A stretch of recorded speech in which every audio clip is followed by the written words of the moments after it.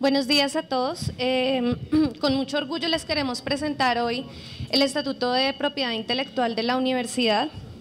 Eh, queremos antes darles eh, una pequeña introducción de lo que fue este trabajo.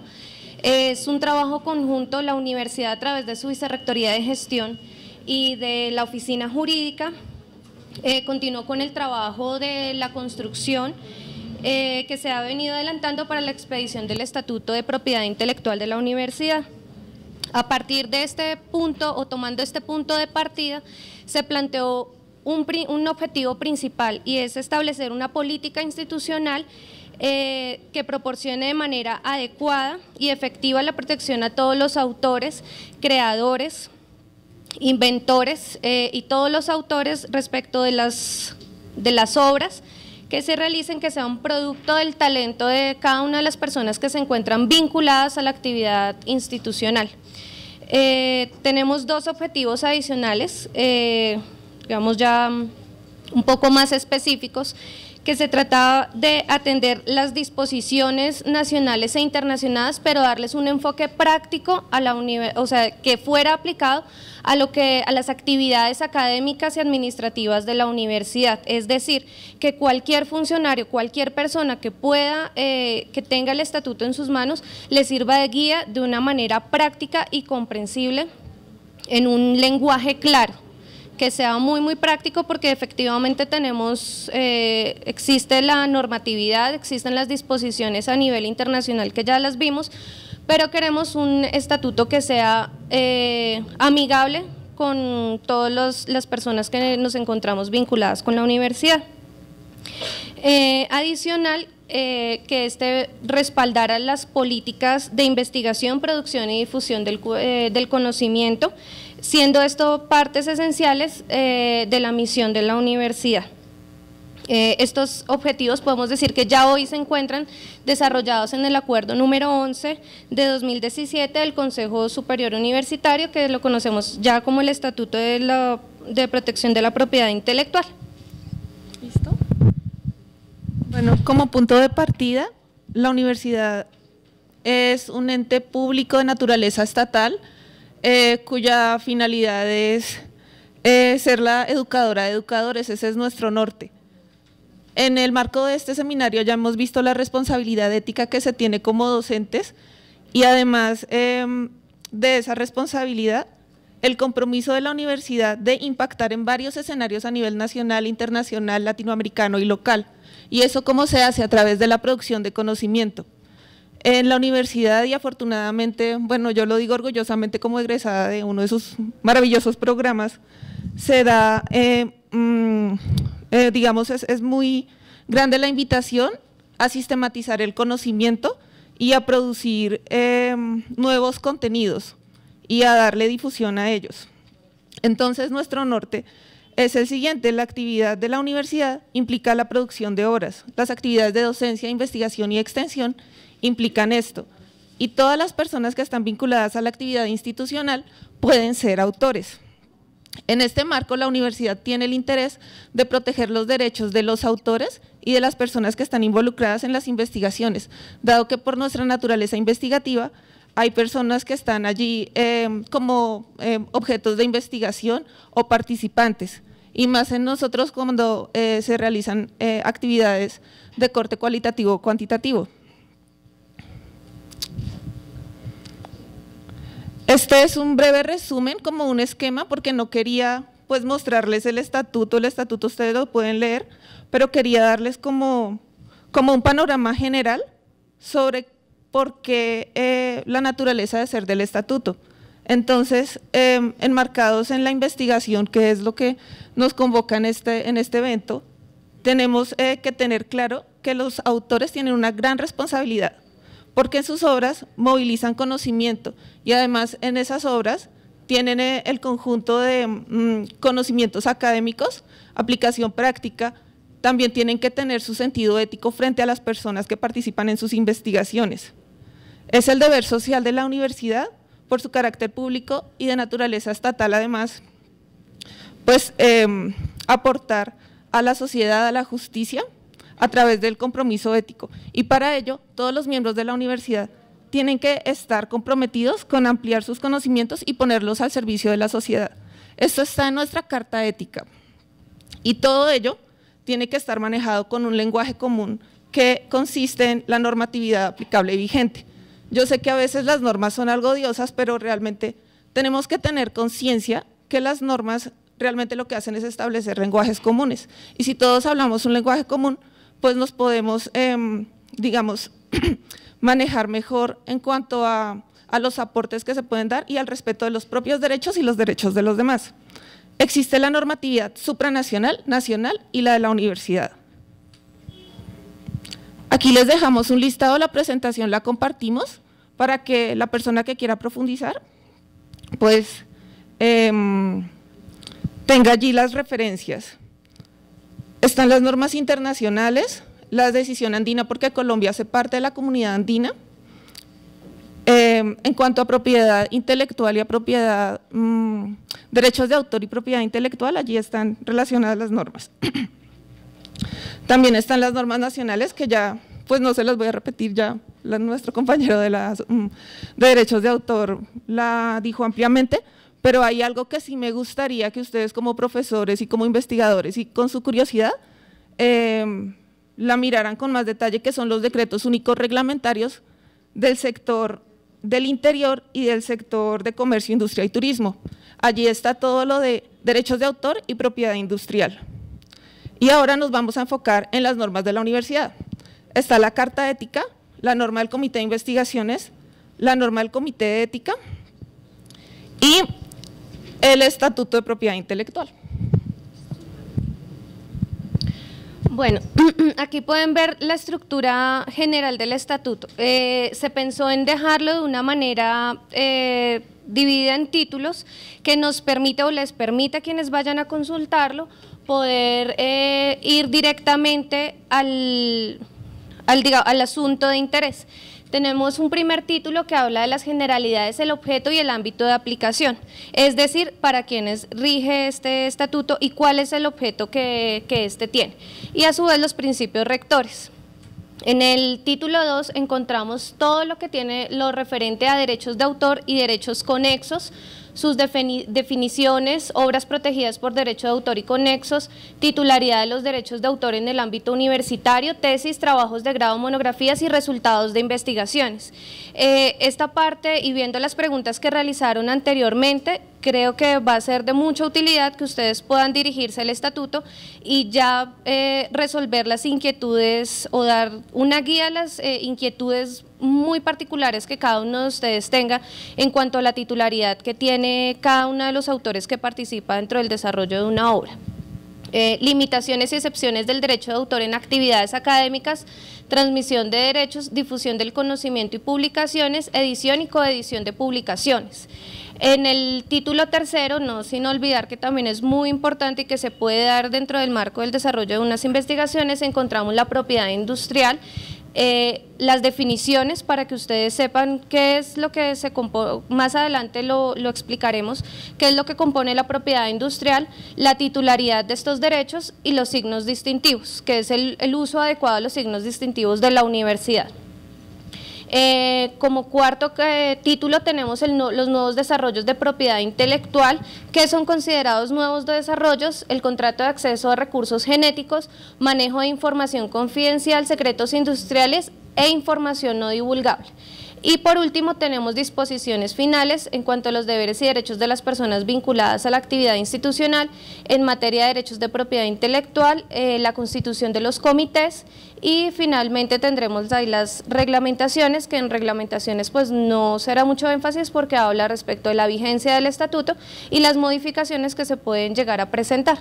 Mm, consideramos más importante que ustedes conozcan la estructura y lo que cada uno en su eh, digamos, en su contenido se encuentra.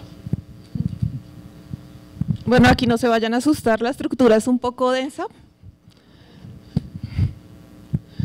Pero aquí, digamos, está todo lo que tienen que saber para manejar lo relacionado con derechos de autor en el ámbito universitario. Eh, para no repetir la exposición anterior, voy a profundizar en cuanto a tesis de grado, monografías y resultados de investigación. como el objetivo de la universidad es que los estudiantes tengan claridad frente a qué pasa con su producción, se dice clara y llanamente en un artículo, los derechos morales y patrimoniales de las obras producidas por los estudiantes son de ellos. Entonces esa claridad está. Eh, también hay otras claridades frente a los productos que eh, se producen en el marco de investigaciones. Ya sabemos que aquí hay monitorías de investigación, extensión y proyección social, entonces los estudiantes allí también intervienen. Eh, también se aclara que así esté bajo la dirección o coordinación de un profesor, los derechos patrimoniales pertenecen al estudiante. Esto sobre todo pensando en las tesis de grado. Em, no, y, e insisto, esto es una invitación a que lean el estatuto, la presentación les queda, eh, aquí está, digamos, la estructura general para que ustedes se den una idea. Y quisimos, eh, pues, dejar como, como claro lo de los productos y otra vez es una invitación a que sistematicen el conocimiento y creen nuevos contenidos. Y aquí está la lista de los contenidos que se pueden producir y son susceptibles de protección por, eh, por los derechos de autor entre los cuales pues están las obras literarias o artísticas. Una obra literaria en este caso se toma como la tesis de grado.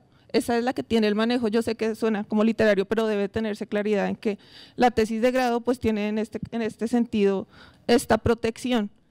En el sistema de mm, gestión de calidad se encuentra un formato para que los estudiantes en el momento de eh, formalizar los requisitos de su grado llenen y den su consentimiento o no sus autorizaciones frente a los derechos patrimoniales que tienen sobre sus tesis para autorizar a la universidad eh, que haga determinados usos o, dejarlo de manera inédita.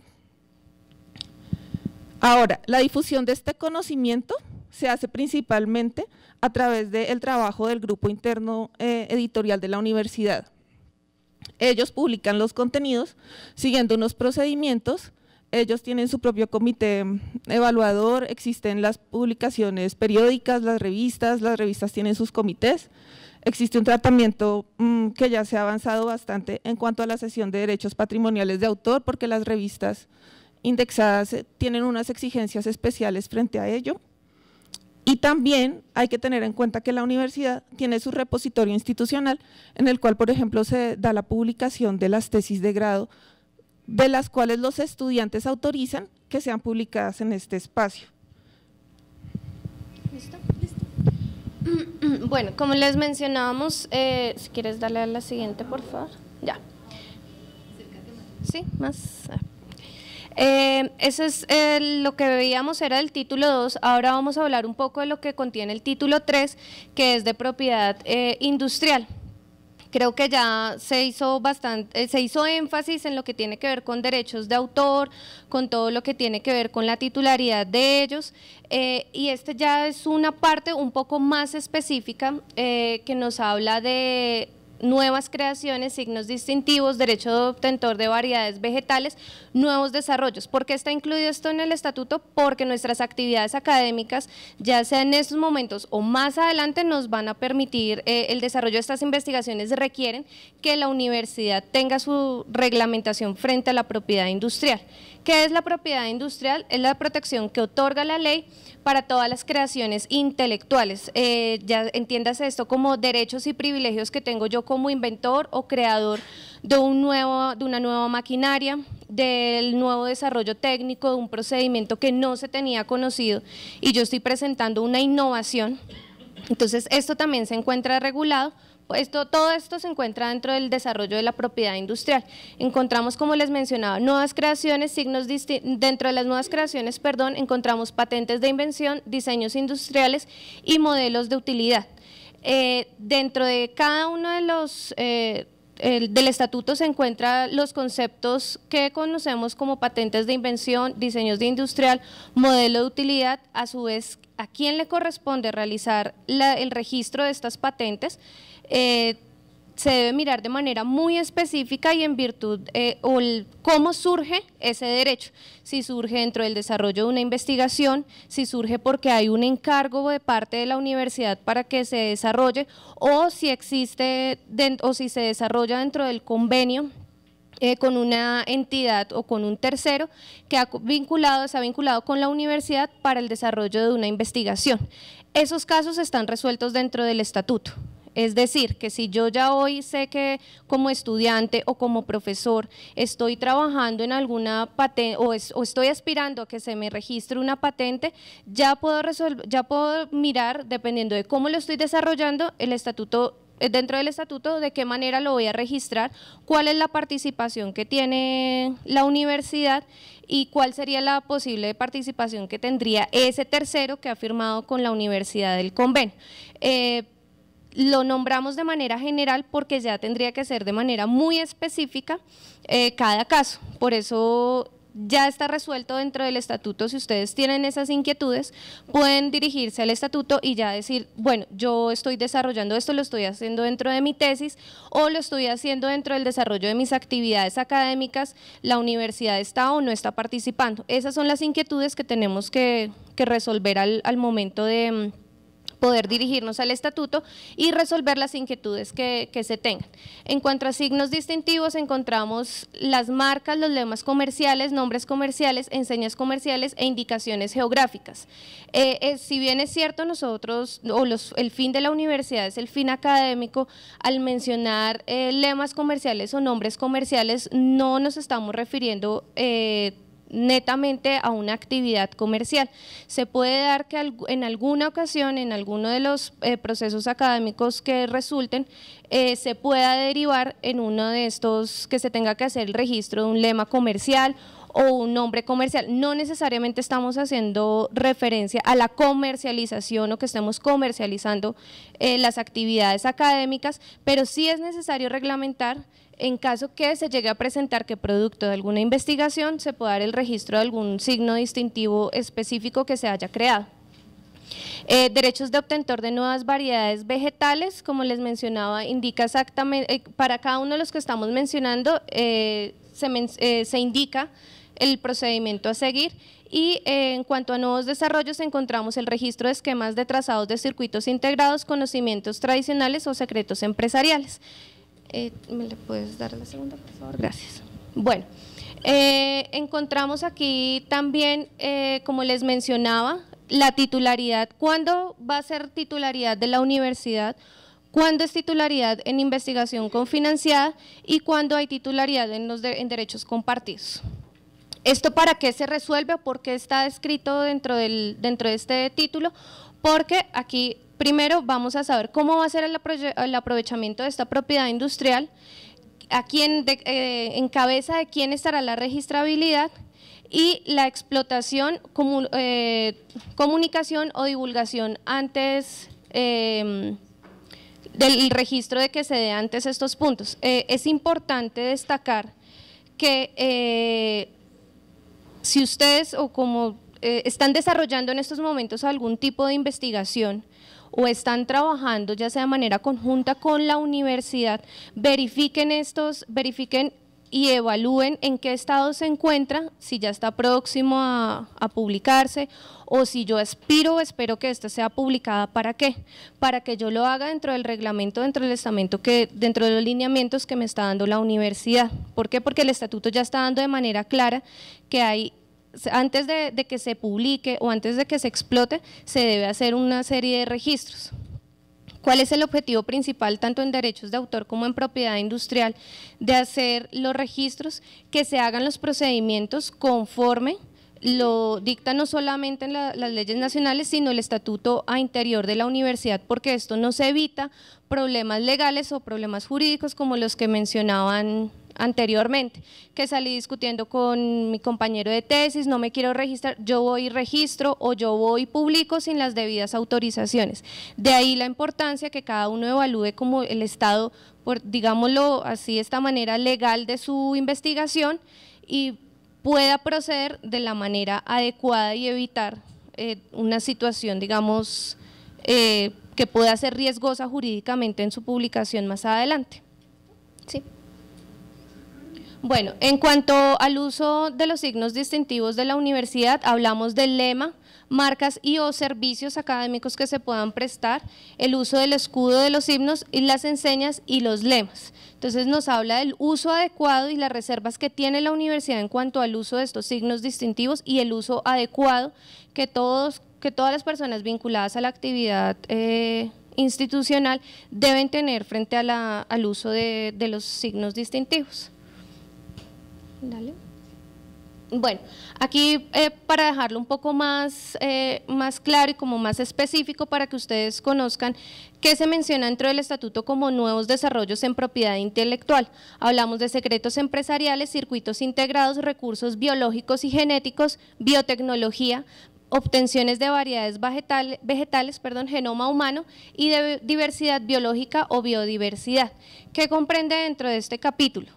Eh, dentro de este título y, a su vez los capítulos nos definen para tener nosotros de manera clara, o, para tener el conocimiento y la claridad de qué es cada uno de estos nuevos desarrollos, qué tratamiento le da la universidad y el reconocimiento de la titularidad de los derechos. Eh, a su vez, eh, esto es específicamente para el caso de recursos biológicos y genéticos eh, y genoma humano, la obligatoriedad de la suscripción del contrato en estos dos casos, el objeto que tendría este y las prohibiciones también que se tienen en, referencia a, la, a la suscripción del contrato. Bueno, eh, esto sí es de una, de una, manera más específica, vamos a hablar de los eh, deberes que tienen todas las personas vinculadas a la actividad institucional. Primero encontramos informar sobre la creación o invención de su propiedad intelectual a la universidad. Esto sí es desarrollado dentro del marco de mis actividades académicas. Eh, todo lo que estamos haciendo mención acá es de las investigaciones que ustedes desarrollan, ya sea como estudiantes o como profesores en las cuales tenga participación la universidad, ya sea porque las está financiando o porque facilita o presta los espacios para que ustedes desarrollen esas investigaciones guardar la confidencialidad y no divulgar la información hasta que se presente la solicitud de registro de cualquier tipo de propiedad intelectual. Eh, este es muy importante porque se puede llegar a presentar el caso que por desconocimiento de la ley yo registro una obra o la publico con otra entidad cuando ni siquiera ustedes, o sea, no son eh, titulares, sino son eh, titulares de los derechos patrimoniales, como lo mencionaban anteriormente, sino es la universidad. Y eso, como lo indicaron anteriormente, puede acarrear problemas para el, para el autor. Entonces, esto es muy importante que ustedes revisen informar y antes de publicar, verificar que se cumplan con todos los registros.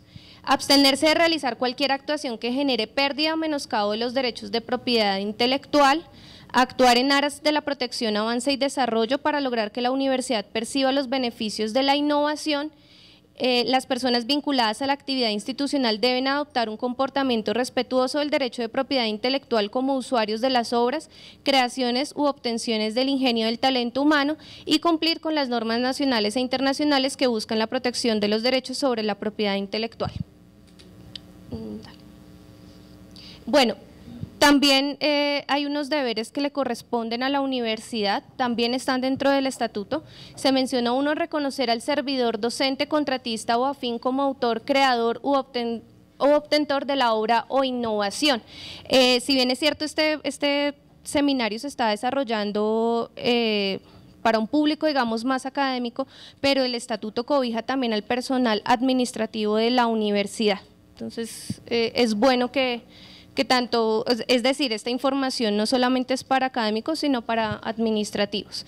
Reconocer contraprestación a los autores, creadores e innovadores en los beneficios de la explotación comercial. Esto específicamente lo mencionamos en el tema de la propiedad industrial, en el caso de registro de, patentes o registro eh, de modelos de utilidad, eh, como les menciono, se evalúa el caso específico y la manera en cómo se desarrolla eh, la investigación.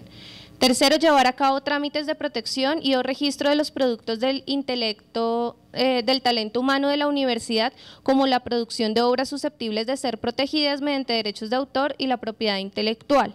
Cuarto, crear los medios para el aprovechamiento y protección de los resultados de las investigaciones y la producción intelectual con el fin de que estos eh, sean de beneficio a los, a los sectores social y productivo. Y por último tenemos la universidad se propendrá por la realización de campañas orientadas a la creación de una cultura de respeto general de la propiedad intelectual.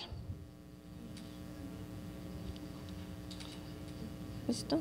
Bueno, eh, a continuación vamos a dejar como eh, nuestro objetivo es compartir esta presentación con ustedes, ya cuentan con nuestra autorización públicamente. Eh, la idea es que ustedes puedan dirigirse a estos hipervínculos y consultar las diferentes normas, consultar el estatuto. Eh, el estatuto realmente está dado en un lenguaje muy práctico, eh, se evitó utilizar tecnicismos jurídicos porque el propósito de un documento o cualquier escrito que uno produzca que sea de fácil comprensión para cualquier persona, teniendo en cuenta que somos muchas las personas vinculadas a la actividad institucional, no solamente hay, hay unos profesores, como lo mencionaban eh, en una de las preguntas, yo soy exclusivamente de, ciencias, no soy de humanidades, eh, cada uno tiene su lenguaje, pero realmente el estatuto está dado para eso, para que ustedes lo conozcan, para que ustedes lo comprendan fácilmente eh, sus conceptos son bastante sencillos y el objetivo es encaminar a que toda la actividad que realiza la universidad a partir de, sin desconocer que antes no, no se hacía, pero que ya ustedes cuenten con la herramienta y tengan el conocimiento en materia de propiedad intelectual, tanto de derechos de autor como de propiedad industrial. bueno, como yo sé que es de gran inquietud el asunto del plagio, quería comentarles a los profesores y a los estudiantes que cuando detecten que un estudiante eh, está frente a una de esas conductas, pueden acudir al reglamento estudiantil en el capítulo 7. El plagio puntualmente está determinado como una conducta que atenta al orden académico y se, se adelanta institucionalmente el proceso disciplinario eh, para el estudiante. Y queremos saber si tienen alguna pregunta o quieren que profundicemos en alguna parte de la exposición.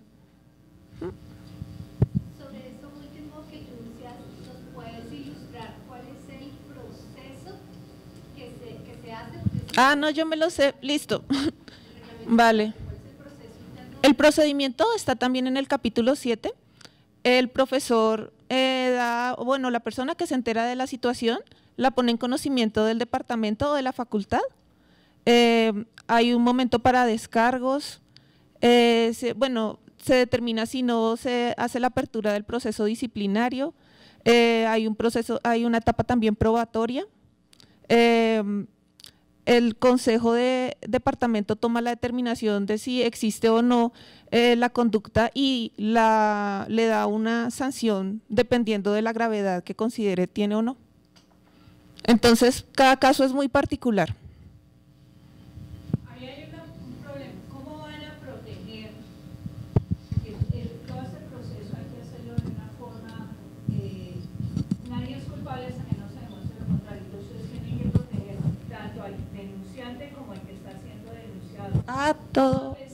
No, en efecto, la universidad actualmente lo hace y todo lo hace en el marco de las garantías y la protección del debido proceso que tienen los implicados.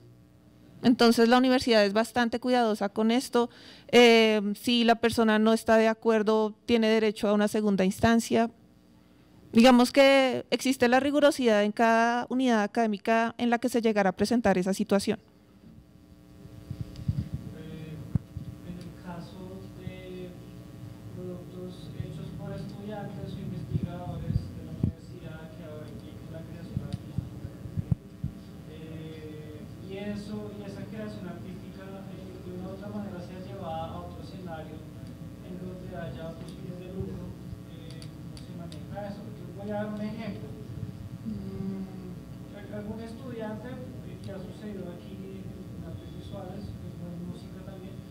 En su trabajo de grado desarrolló una investigación en creación artística donde saca una pieza musical o una serie de pinturas.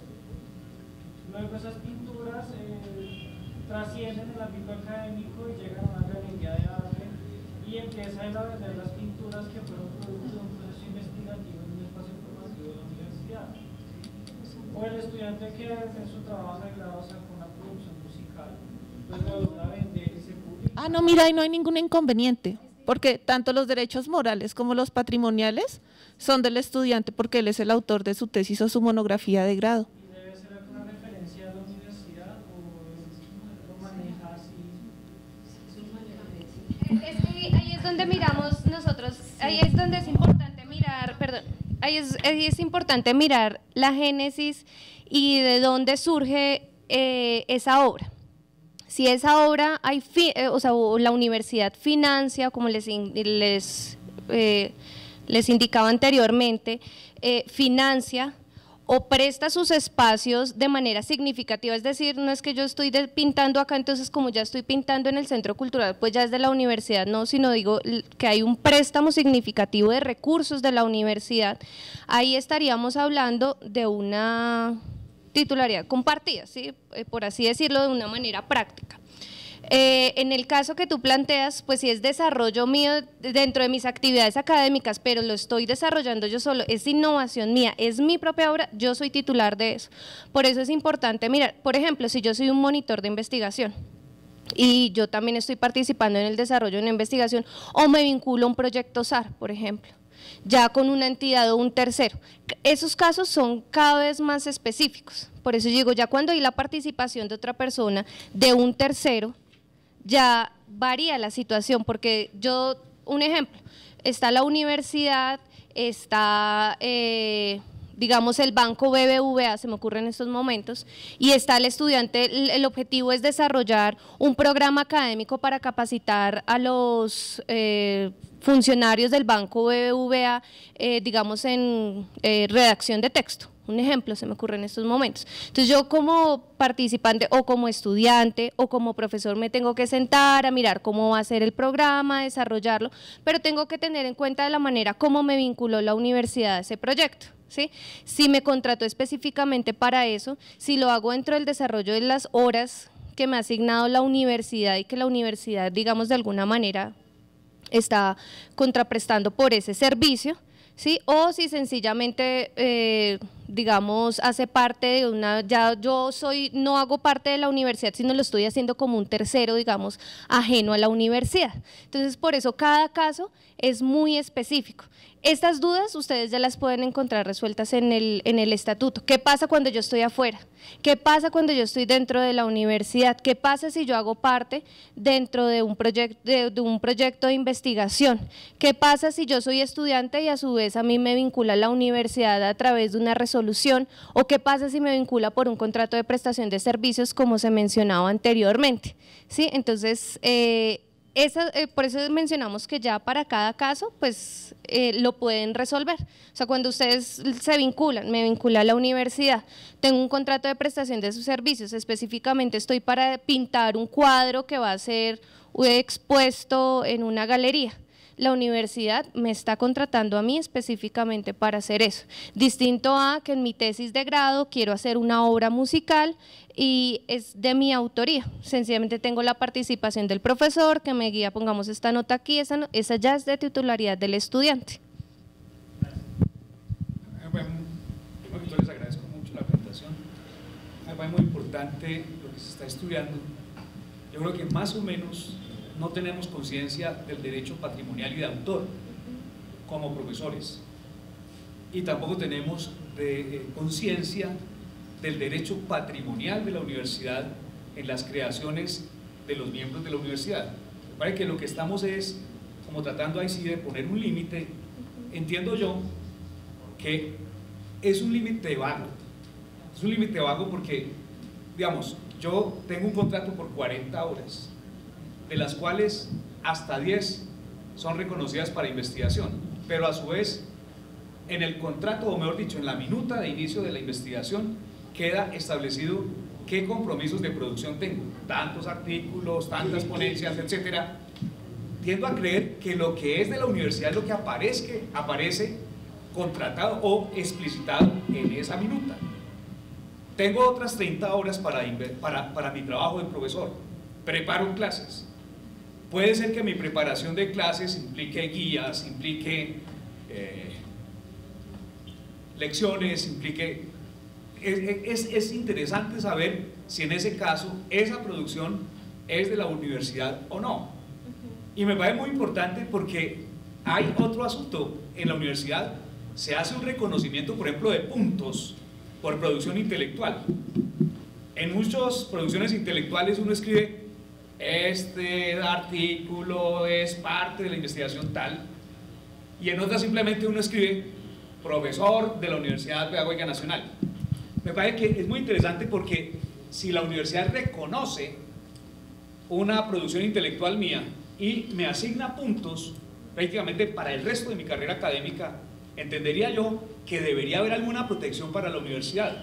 O sea, me parece que aquí hay una, un, un nivel de explicitación contractual, fáctico, en el momento en que uno lo explicita en la minuta para empezar un proyecto. Pero me parece a mí que seguramente lo tienen muy claro en ese estatuto, lo va a estudiar, como ahora anoto la dirección, pero me parece muy importante saber, porque yo estaría en la, en la idea de que si llevo al CIARP una producción intelectual y reconoce la universidad puntos, ahí tiene que pasar otra cosa y yo no me podría sentir absoluto poseedor o titular de ese derecho. Esa es la pregunta que quería hacer. Sí. Bueno, puntualmente hay un, el artículo 37. ¿De esta? Sí. Dice que la titularidad de los trabajos de investigación que se lleven bajo propia iniciativa, financiamiento y riesgo pertenecen al docente. Ahora, digamos, la naturaleza del reconocimiento de los puntos que hace el Comité Interno de Asignación y Reconocimiento de, Puntaje es eh, premiar a los profesores por su producción. Esa producción puede ser bien eh, realizada en el marco de las actividades institucionales como docente de la universidad o puede ser que el profesor destine sus fines de semana a hacer sus nuevas teorías o a plantear sus nuevas clases y, de que, y que de eso salga nuevo conocimiento. Eh, podemos ver eso, por ejemplo, eh, los profesores de la universidad tienen altísima producción en cuanto a publicación de artículos en revistas y, y libros. Lo sé porque en la oficina jurídica eh, pasan bastantes eh, em, resoluciones de asignación de puntos. Entonces, digamos que esa claridad ya está, y en el estatuto están esas claridades como bien específicas. Y aquí hay un punto que quería tocar y este ya es, bueno, en el marco de este seminario es una reflexión ética en cuanto al autoplagio. Si sobre el plagio hay, digamos, poca literatura en las normas, frente al autoplagio hay menos. Y es lo que ya conversaban varias profesoras eh, en las ponencias de ayer, es el asunto de autorreferenciarse o sacar varios artículos que realmente correspondían a un mismo documento y hacerlos parecer como diferentes. Ese es un como, como un llamado ético que eh, se tiene frente a la actividad académica en general y es una reflexión que existe eh, más desde el punto de, eh, de vista ético, aunque pues conozco que en otros países eso ha tenido consecuencias, digamos, graves para quienes han, han hecho esa práctica. Volviendo un poco a lo que usted nos mencionaba, y esto eh, es importante para todos, creo yo que la importancia radica también en, en hacer el debido reconocimiento, no solamente por parte de ustedes como profesores de sus obras, sino también la universidad, y la universidad lo hace porque, eh, es decir, nosotras lo hemos trabajado y hemos visto cómo la universidad reconoce el trabajo de sus autores, porque finalmente este es el propósito de la actividad académica, hacer la difusión del conocimiento. Eh, ¿Por qué menciono esto? Porque muchas veces, en, eh, digamos, en el propósito o con el objetivo de, pub- de publicar eh, obras, no mencionamos o no se hacen las debidas citas, no citas, sino no se mencionan los autores o se hacen ciertas restricciones o obviamos ciertos puntos. eh, digamos que ahí es lo que usted mencionaba un poco de que no, en qué, en qué punto debo reconocer, en qué momento no debo reconocer y demás. Creo que todo radica es en hacer los debidos reconocimientos en todas las instancias que, que se deban realizar. Sí, pues creo que todos me escuchan. Yo procedo de otra universidad, trabajo en el campo de propiedad intelectual. Entonces les voy a comentar la experiencia desde el Estatuto de Propiedad Intelectual del 2008 que nosotros sacamos, donde la comunidad involucra también a los egresados. Entonces nosotros tenemos egresados, administrativos, estudiantes, profesores, y uno diría, bueno, ¿cómo manejar esa situación? Me parece un trabajo muy dispendioso y bien interesante y podamos acercarnos y aportar. ¿Qué pasó durante, desde el 2008 hasta el 2017, que es ahora? Un trabajo de mm, resistencia por parte de la comunidad docente debido a que mm, no se entendía para qué un estatuto de propiedad intelectual.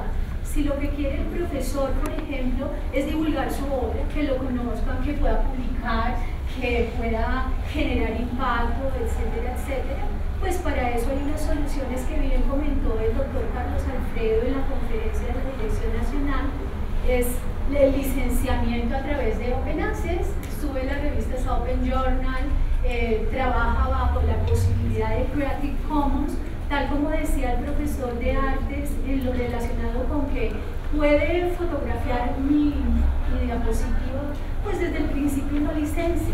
Ustedes pueden grabarlo, por favor grabe usted para que tengamos memoria de la clase, etc. Entonces hay una manera de hacerlo de todas formas. Y tener un estatuto de propiedad intelectual les permite a ustedes eh, un manejo mucho más efectivo. Pero ¿cuál ha sido la dificultad?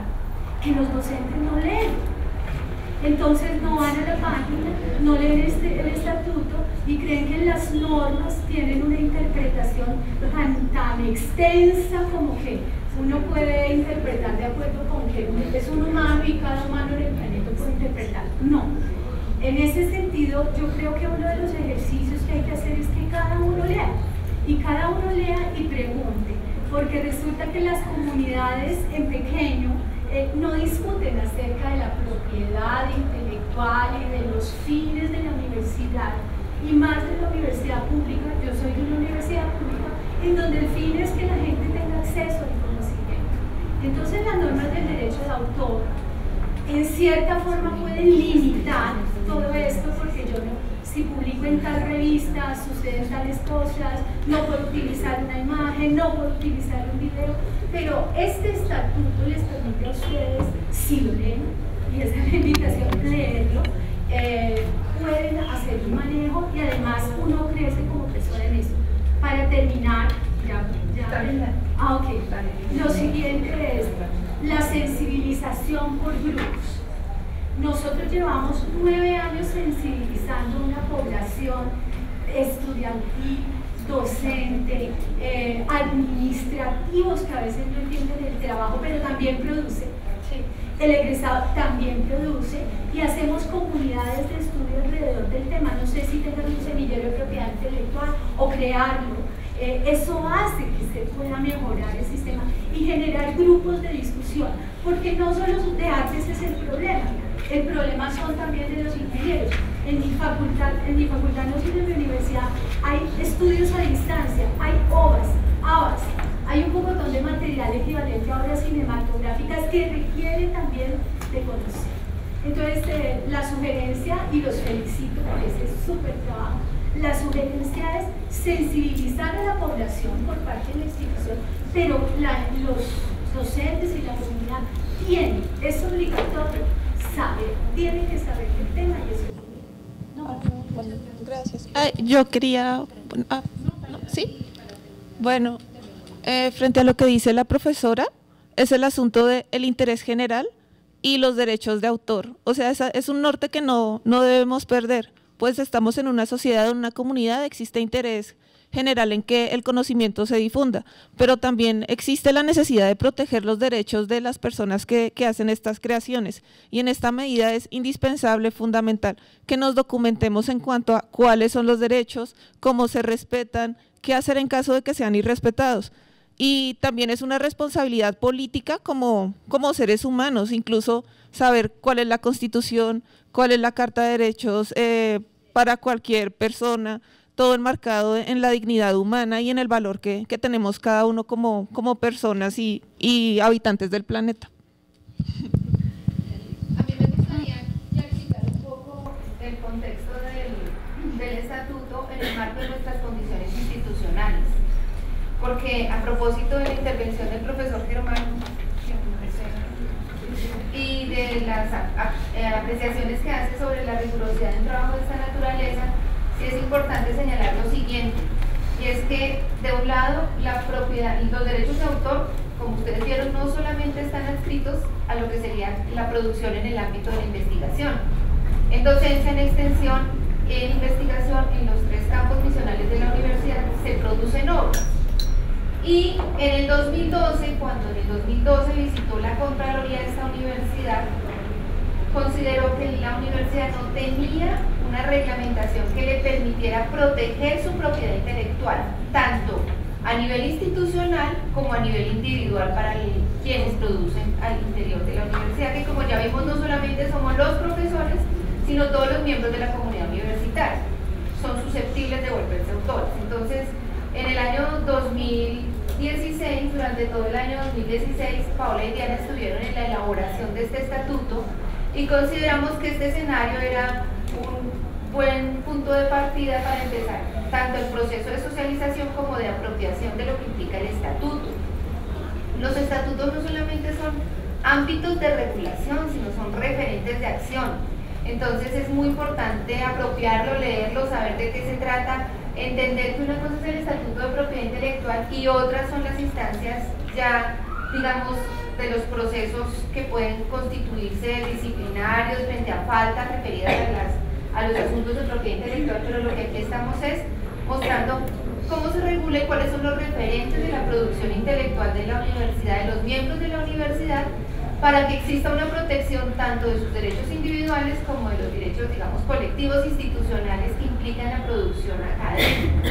Entonces es muy importante que se apropie, eh, ha sido realmente un esfuerzo importante, eh, se ha hecho una amplia revisión sobre el tema normativo, se hicieron revisiones de los otros estatutos de propiedad intelectual de otras universidades y creo que ese esfuerzo que han hecho eh, Paola y Diana desde la oficina jurídica y desde la vicerrectoría es muy importante que se valide también en estos escenarios y que ustedes lo puedan conocer y apropiar. Entonces también quería invitarlos a todos a que lo conozcan, lo consulten.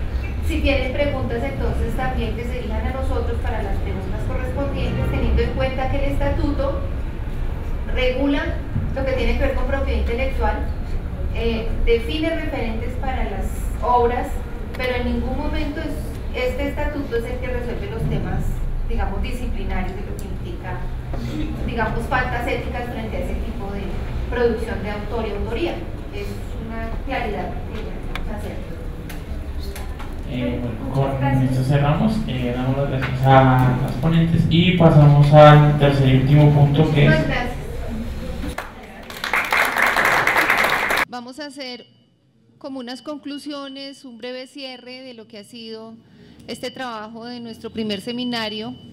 Eh, vamos a darle la palabra a la profesora Mercedes inicialmente con sus reflexiones de cierre, posteriormente la profesora Gloria Palma y al final pues haré una intervención que intenta recoger, hicimos un balance con la profesora Constanza ayer en la tarde, después del, último panel, hicimos un balance un poco de cuál ha sido el aprendizaje de estos tres días, de estos dos días y medio, y queremos pues presentarlo como agenda de trabajo para lo que sigue. Entonces le damos la palabra a la profesora Mercedes. Bueno, ya estamos ahora sí que en cierre y parte de lo que he venido planteando, este, yo lo podría como sintetizar en el tipo de, eh, de trabajo que vengo realizando. A mí un tema fundamental, eh, perdón, como lo, vimos en, la primera sesión, eh, sí es importante tener criterios, digamos, de, en el campo de la investigación educativa, pero como lo planteamos, tienen que ser criterios situados a partir del contexto en el que se desarrolla la investigación del país, recuperar la normatividad pero sobre todo es una responsabilidad del investigador, qué es lo que investiga, hasta dónde llega o hasta dónde realiza su investigación. En lo particular, y así lo he mostrado, a mí me parece como muy importante la pertinencia del tipo de investigación que se va a realizar. Y lo he reforzado en las dos sesiones y quería terminar con, con otro más, en donde la pertinencia de lo que nosotros investigamos y enseñamos con nuestros alumnos eh, está ligada a la, problemática social y a contribuir, de a lo mejor desde un espacio muy local, muy pequeño, al tema de la justicia. No sé si, lo, si construimos o no, o sea, tendríamos que construir parámetros al respeto, pero o sea, me parece como, como fundamental esta cuestión de eh, los criterios éticos situados. Yo le, le, llamé así, necesitamos criterios éticos situados no solo para investigar, sino para enseñar. ¿no? Que nuestra enseñanza también esté vinculada este, con este, la parte situada.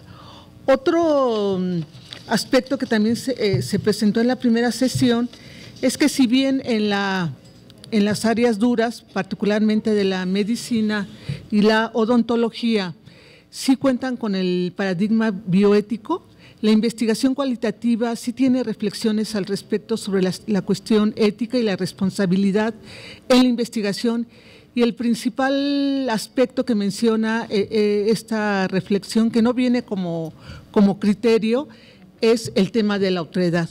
O sea, eso aparece en todas las reflexiones, o sea, que si nosotros vamos a hacer una investigación es para dar la voz al otro, ¿no? y, particularmente a, los enterrados, a los que no se ven, a los invisibles. Este, eh, no sé, encontré en esta primera búsqueda que si, si busco, seguramente que si profundizo más al respecto voy a encontrar más información porque además yo siempre tengo en mis clases de investigación cualitativa el tema de la ética.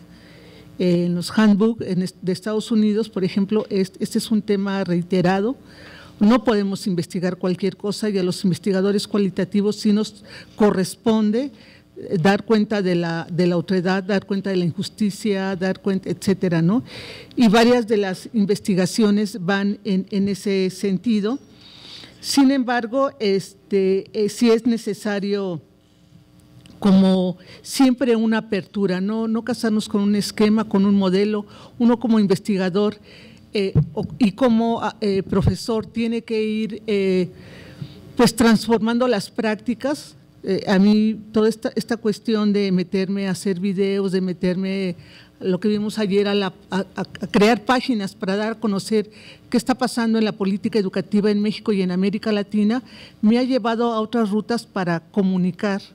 Este, eh, no sé si sea la mejor manera, pero creo que eh, nos permite tener como un público mucho más, más amplio. Entonces está toda esta cuestión de la flexibilidad, no solo del investigador, sino también los criterios éticos, ¿no? Que, eh, em, en la investigación, y como ayer mencionó este, la maestra, tanto en las ciencias duras como en las ciencias sociales y humanas, pues eh, son prácticamente los mismos criterios de delimitar el tema, revisión de la literatura, las preguntas, la solicitud de permiso con nuestros entrevistados.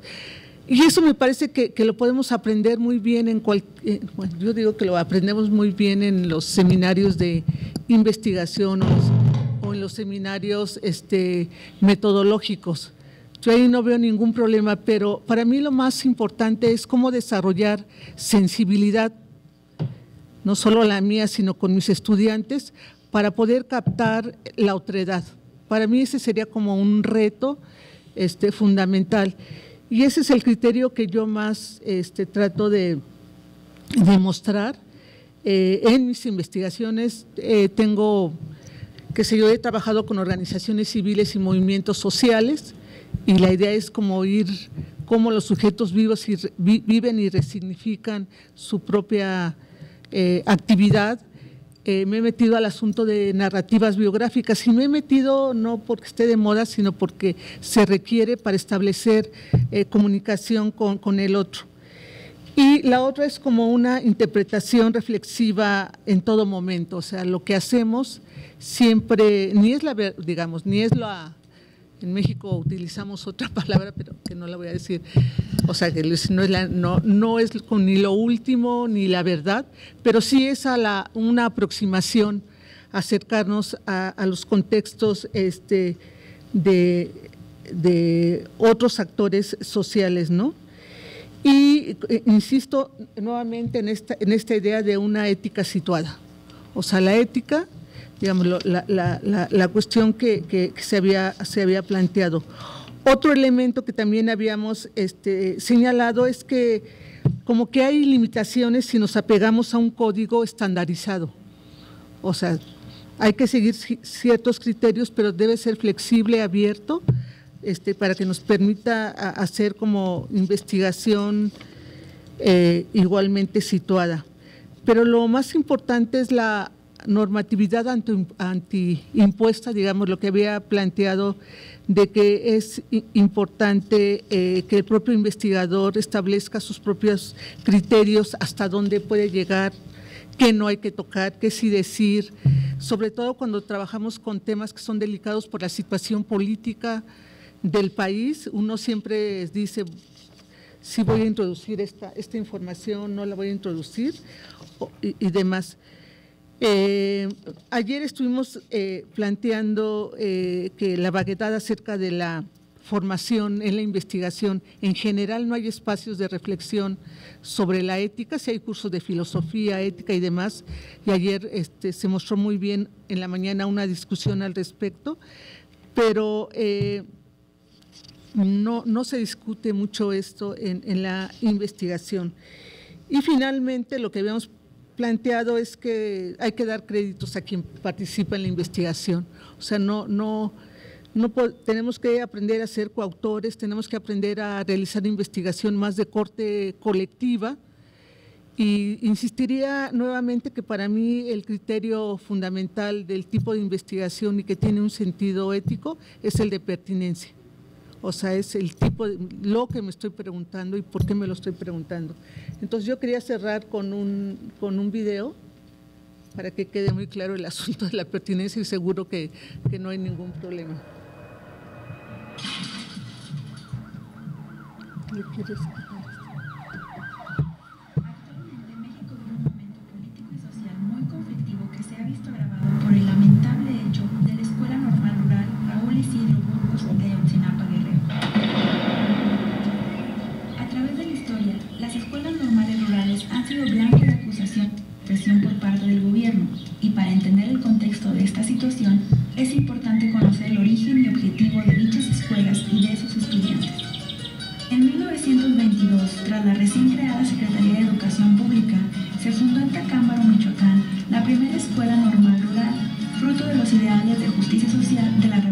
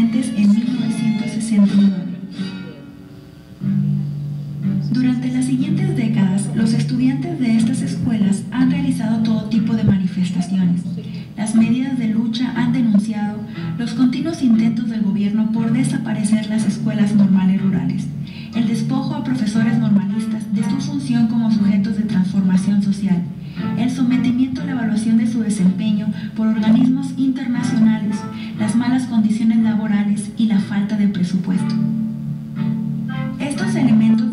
Se han encontrado con acciones de impunidad por parte del gobierno. Por ejemplo, el asesinato de dos normalistas de Ayotzinapa a manos de la Policía Federal en la autopista del Sol el lunes 12 de diciembre de 2011 y la muerte de tres junto a la desaparición forzada de 43 normalistas el 26 y 27 de septiembre de 2014 en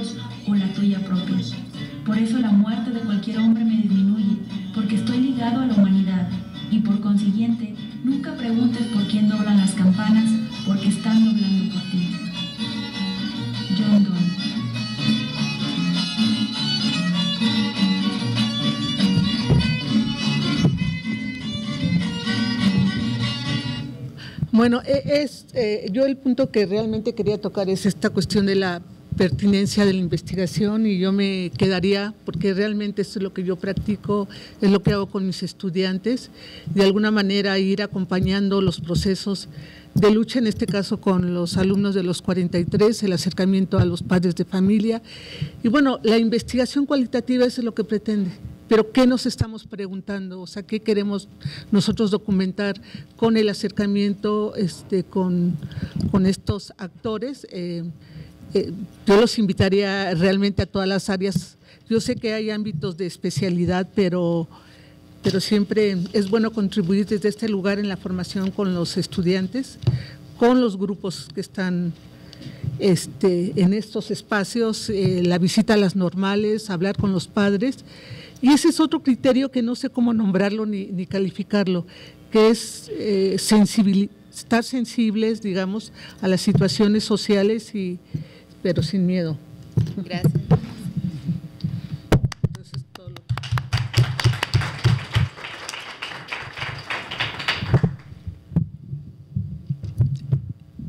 Buenos días. Eh, quiero compartir con ustedes ahora un video que yo utilizo en el curso de integridad científica que doy a los estudiantes de doctorado en ciencias biomédicas. Ese es el inicio de mi curso, pero creo que es apropiado también para utilizarlo como cierre de lo que venimos discutiendo en los dos últimos días. Y eh, una de las cosas que yo creo que es importante, y esto es siguiendo la, línea de la profesora Ruiz, que tenemos que tener en cuenta es que la parte de integridad científica, si bien tiene unas guías y unas normas y busca hacer que la investigación sea de calidad y que sus resultados tengan utilidad, la integridad científica realmente es parte de nuestra vida como docentes y como investigadores y también parte, debería ser parte de la integridad, parte de nuestra vida como seres humanos. Que nosotros vivimos en una sociedad en la cual eh, tenemos problemas serios es otra cosa, pero yo creo que el cambio tiene que iniciarse a partir de nosotros en las universidades y sobre todo ustedes que van a ser, eh, que son las personas que están educando a los maestros, que son los encargados de educar a las siguientes generaciones. Quizás vamos a tener que meternos por ese lado para hacer un cambio real en este país.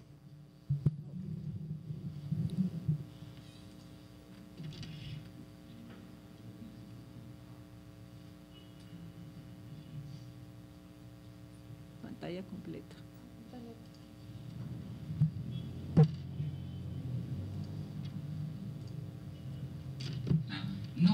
Hacer trampa. Si usted hace trampa, ya no está jugando. Eso no vale. Lo hago rápido, este, este punto, muy rápido. Yo venía de la estación de Nakayama, iba corriendo, tenía una urgencia. Iba para la casa, hay que pasar una, una avenida llamada Nakahara Kaido, ahí hay un semáforo peatonal. Y yo iba corriendo con una urgencia dije, me paso el semáforo peatonal en rojo, yo soy latino, sé esquivar carros muy bien, semáforo peatonal en la noche donde no pasan carros además. Y cuando me iba a pasar el semáforo peatonal, justo había un japonés ahí que se detuvo porque se puso en rojo y se quedó quieto. Y yo dije, típico japonés, fue lo que pensé. Ahí iba a esperar un semáforo aunque no pasen carros. Yo si me paso el japonés y me paso esa avenida y cuando me los iba a pasar tuve que frenar en seco y quedarme al lado porque era mi padre. Oh, oh, ¿qué está haciendo? Esperando el semáforo, ¿no ve? Sí, pero a esta hora no pasan carros. Ah, ¿cómo es no, a esta hora no pasan carros. Por eso. ¿Por eso qué? Oh, aquí no hay cámaras. ¿Cámaras para qué? Es que nadie nos está viendo, pasemos, yo tengo una urgencia. Y me pegó un grito en japonés que hasta hoy tiene eco en mi vida. Chinga mi tendero, yo me estoy viendo.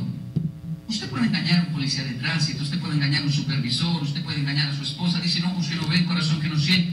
Pero hay alguien dentro de usted que no va a engañar nunca. Y hay una generación que nos sigue que está emulando lo que somos. Nuestros hijos solo aprenden el 30% de nuestra cantaleta, de nuestras palabras. El otro 70% lo emulan, nos imitan. Yo puedo mirar a Kenny David y decirle, no mienta, bueno papá, bueno papá no, repítalo 100 veces, mentir es malo, muy bien. Toca el teléfono, atiende y diga que no estoy.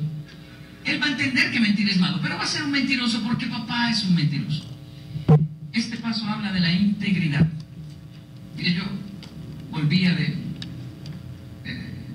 del colegio y vi como la vecina tenía un sembrado de tomate, zanahoria, pepino, y dejó una caja sola llena de verduras.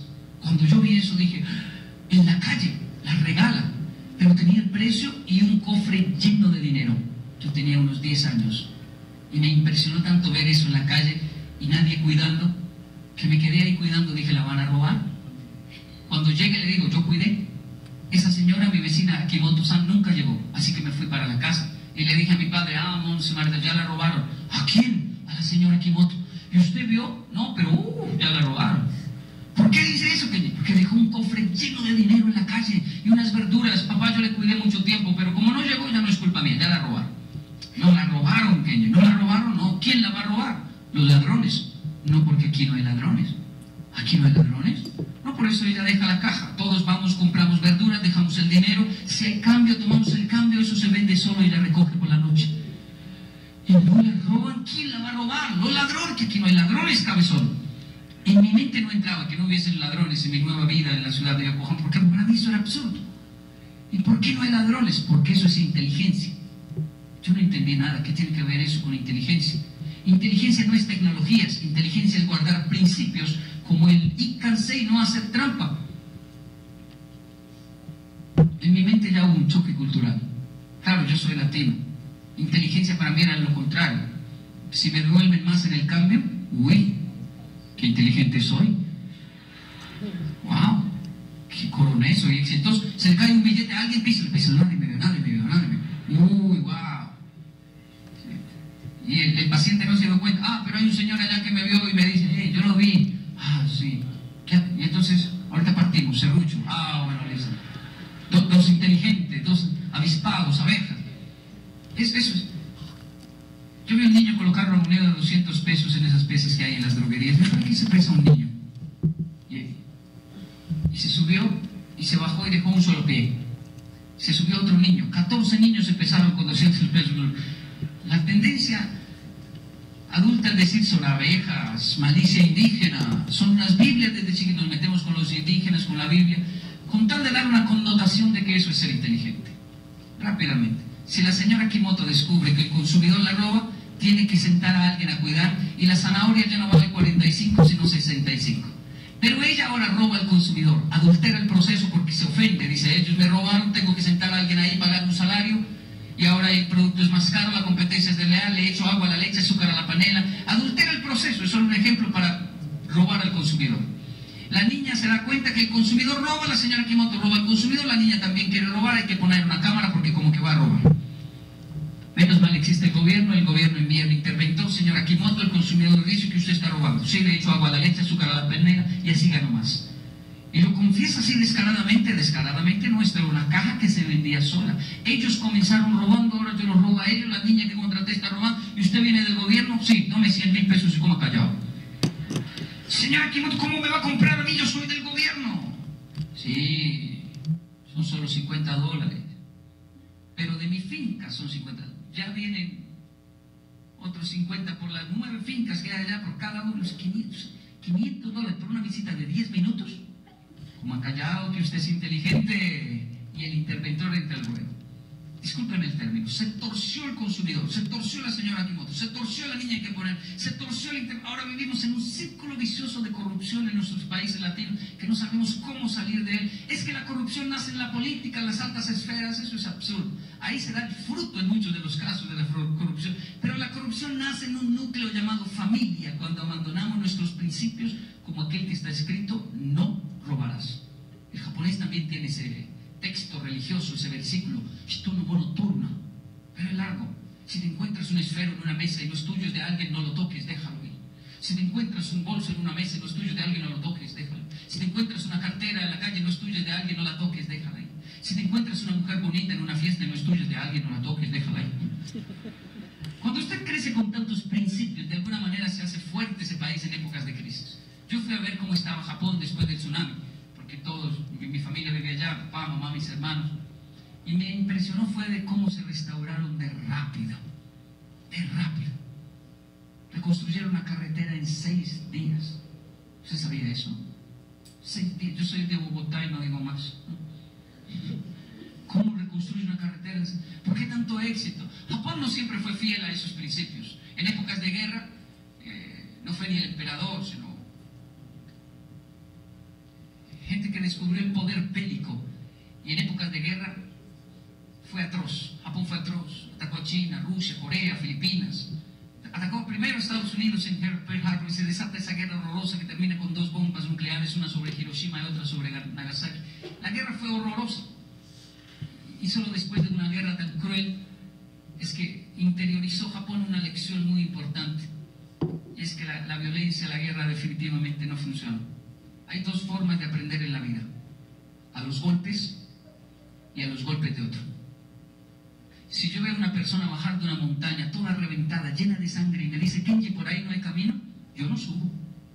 ¿Usted subiría? Hay gente en Latinoamérica que sube, no hay camino, mucho sube. Bajan hasta sin dientes y sabe que dicen, ay, sí, no hay camino. Si la historia de Japón nos dice que no hay camino en la violencia, es porque no hay camino en la violencia, en la guerra. ¿Para qué repetir una historia si podemos aprender de lo demás? Yo culmino con esto. Hay una gran diferencia entre ser honesto y ser íntegro. Un hombre pide una pizza, la pizza llega al hotel donde él está. La mujer abre la caja y le dice, mi amor, no hay pizza. ¿Cómo no hay pizza? Hay dólares, cuentan 1.800 dólares. Y él le dice, no, mi amor, si algo me enseñó papá es a ser honesto. Ella le da un beso y le dice, mi amor, pero la pizza costó 17, tenemos 1.800 dólares. No, no, no, vamos a la Y él va decidido a entregar la, la caja. Llega a la pizzería y la entrega y ella se pone brava, usted es muy tonto. ¿Cómo va a ser eso? Ese dinero es nuestro. No, eso no es nuestro. Y lo entrega. En la pizzería lo aplauden, le abrazan, le agradecen. Y sale el, sale el joven gerente de la pizzería y le dice, ¿Usted escuchó el anuncio en la radio? ¿Cuál anuncio? Mi hermano trabaja en la radio, él quiere entrevistarlo, que usted le cuente a todo el mundo lo que acaba de hacer. No, no, no, tengo tiempo. Deme mi pizza que me tengo que ir. Bueno, déjeme su nombre, sus datos, yo sí le cuento a todo el mundo lo que usted hizo. No, no, no. No tengo tiempo, mire. Se llevó al joven de la pizzería y le dijo, ni se le ocurra decir quién soy. Pero ¿por qué si lo que usted hizo es loable? Sí, me gustaría salir en la radio con su hermano y contarle a todo el mundo que entregue la caja con los dólares, pero no puedo. ¿Pero por qué no puede? Porque la mujer que está conmigo no es mi esposa. ¿Cómo voy a salir en la radio diciendo que pedí una pizza, que estaba en un hotel? No, usted está loco. Deme mi pizza que me tengo que ir ya. Invéntese otro cuento. Y salió y se fue. Hago una pregunta al auditorio. ¿Era un hombre honesto, sí o no? Sí, entregó la caja. ¿Era un hombre íntegro? Porque honestidad habla de lo que yo hago, integridad habla de lo que yo soy. Honestidad habla de lo que yo digo, integridad habla de lo que yo pienso, honestidad habla de mis actos públicos, integridad habla de lo que yo hago, aunque nadie me esté viendo. La honestidad es buena, pero necesitamos con urgencia en Latinoamérica una juventud, unos nuevos líderes en integridad que entiendan que eso sí, que vale la pena. Tal vez no a corto plazo, pero a largo plazo sí.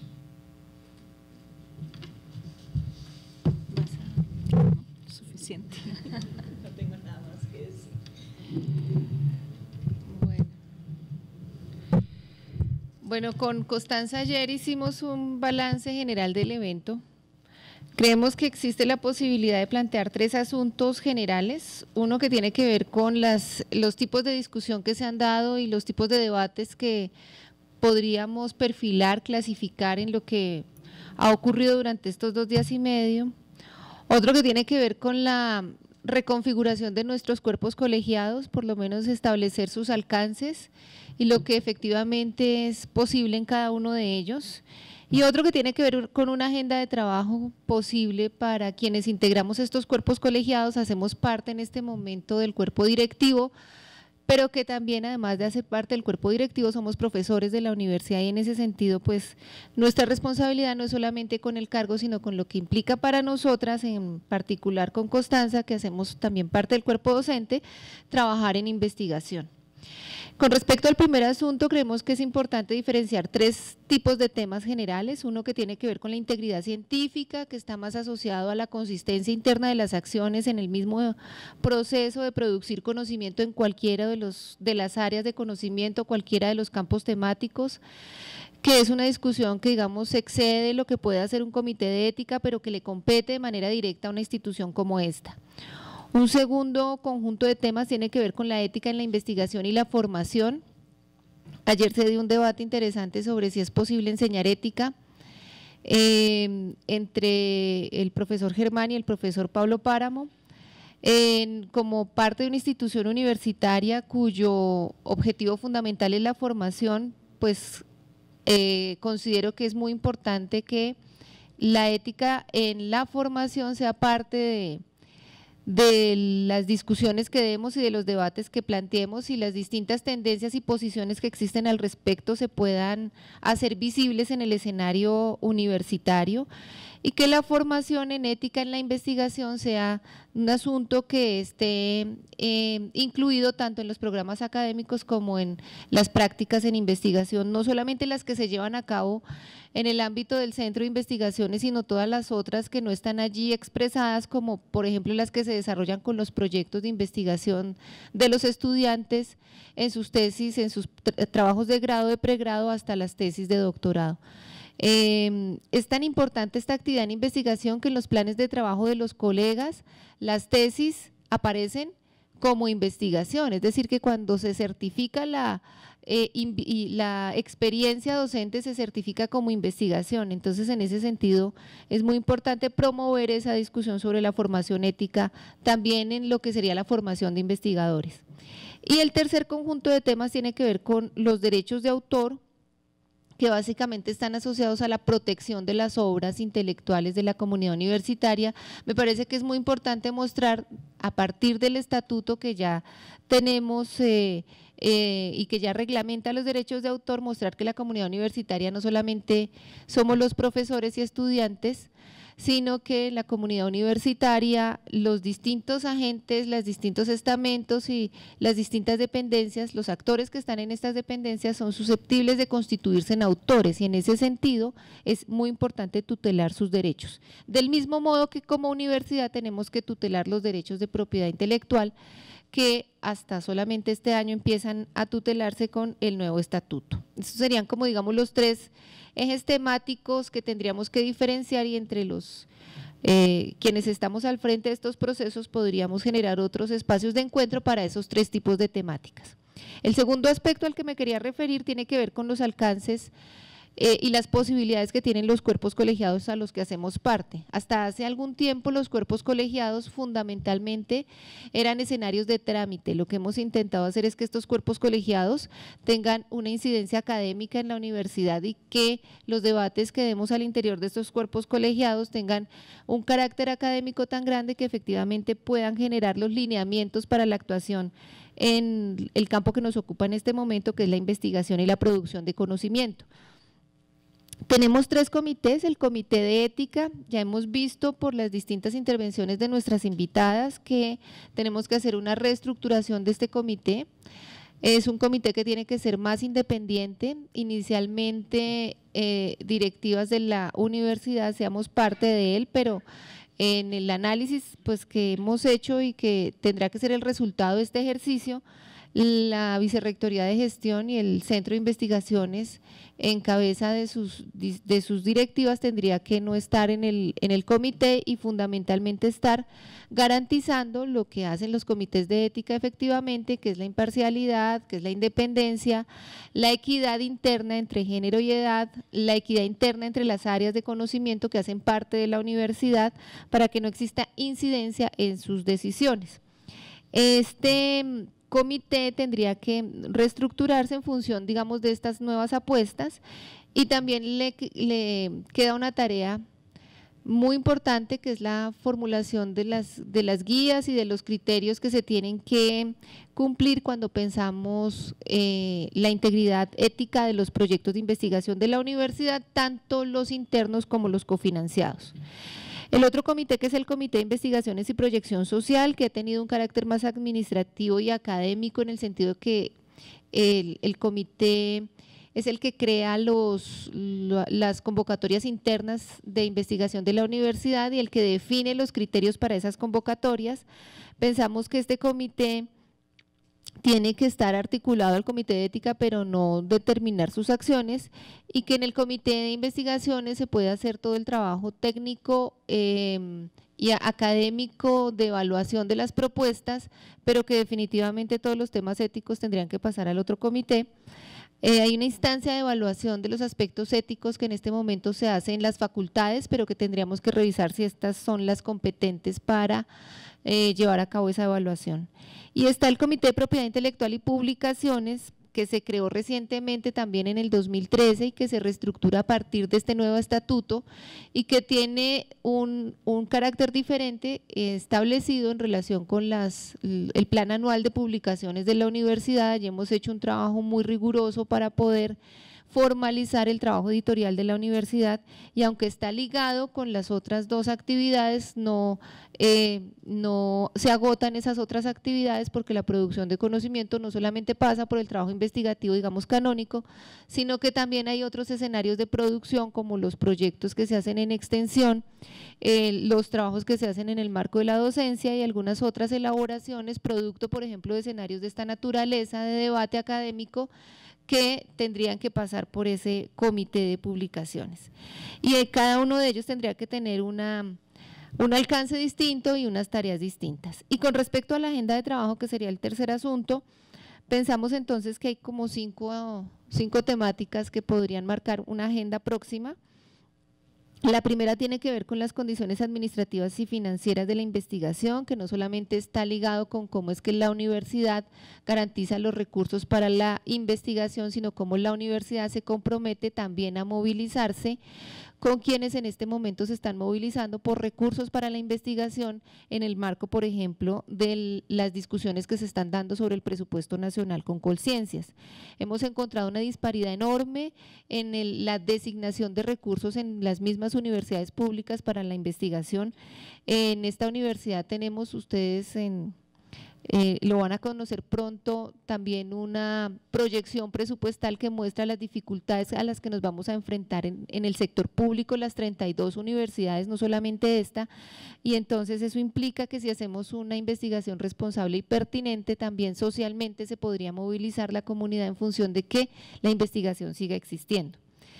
La otra temática tiene que ver con la responsabilidad social del investigador en dos niveles, un primer nivel que tiene que ver con el nivel individual, que es poco trabajado en los seminarios y que creo que en, este, en estas jornadas fue bastante tratado. Eh, ayer tuvimos en la mesa de la tarde tres miradas distintas sobre la manera como se puede eh, generar investigación, construir los proyectos, eh, desarrollar los procesos de socialización y proteger los datos de los, de los informantes de estos proyectos.